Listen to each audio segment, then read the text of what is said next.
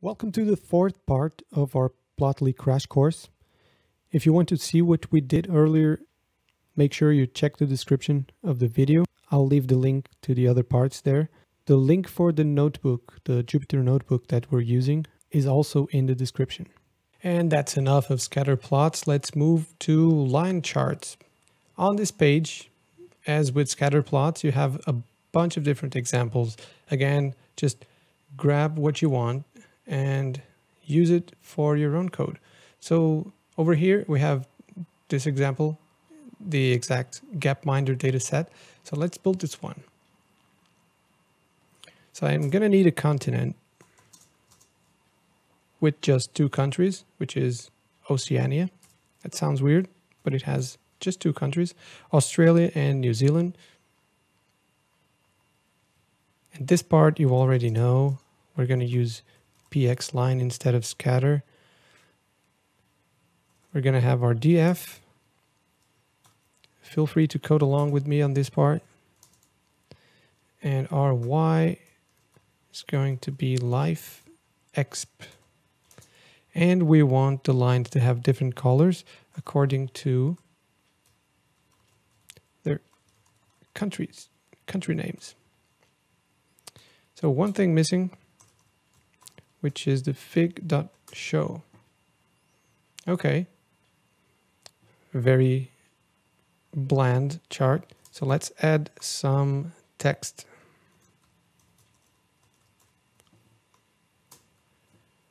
Okay, that's better. And I really hate the default template. So I'm going to use Seaborn.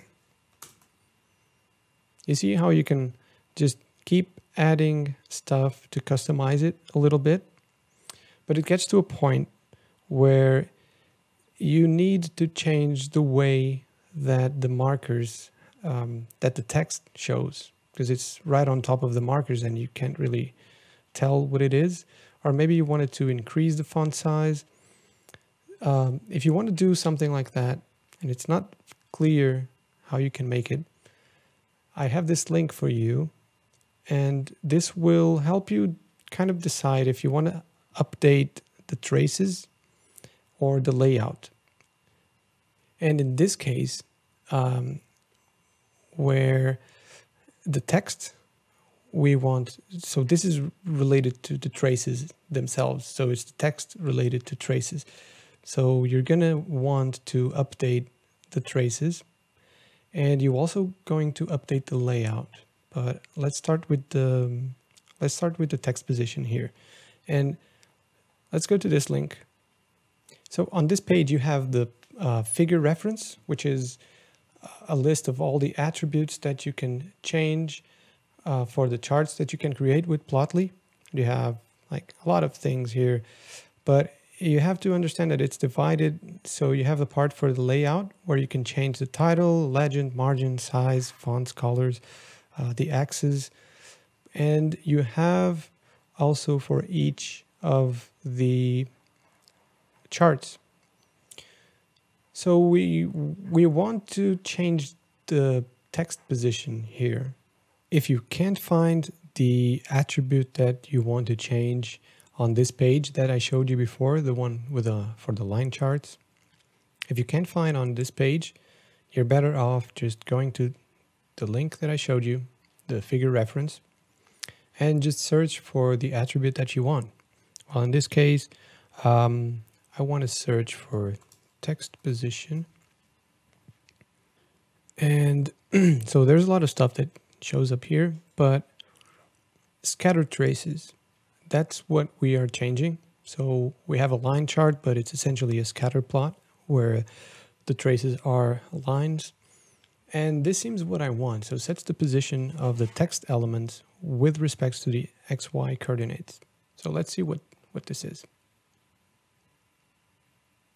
And right here we have top left, top center, top right. Let's get a bottom left.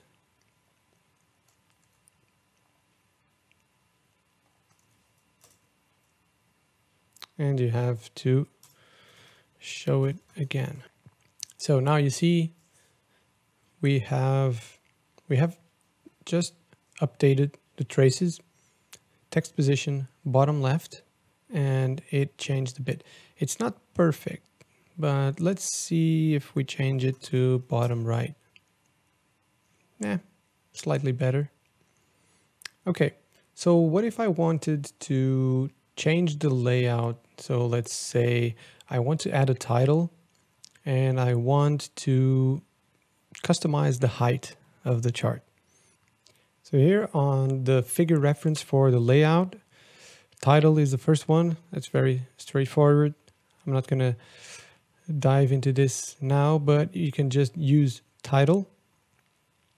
And just, just another thing, if it's on the first level, it's easy to use. You just declare it and um, just show legend equals true, false. Um, it's very easy to use. If it's inside, like, um, if it's inside another one, like color, family, this is going to require some dictionaries in order to, to declare. It's still easy, but it's a bit more tricky because it's a dictionary. So let's update the title. Fig update layout. And we're going to use title Oceania race.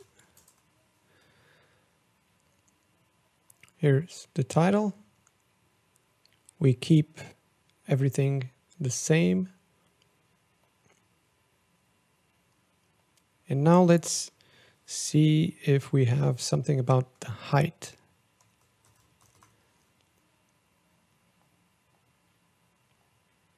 Here. So the default is 450. It has to be greater than or equal to 10. Set the plot's height in pixels. Okay. So I want to make it very small. And if I want to make it larger, just change the height. And you can also change the width.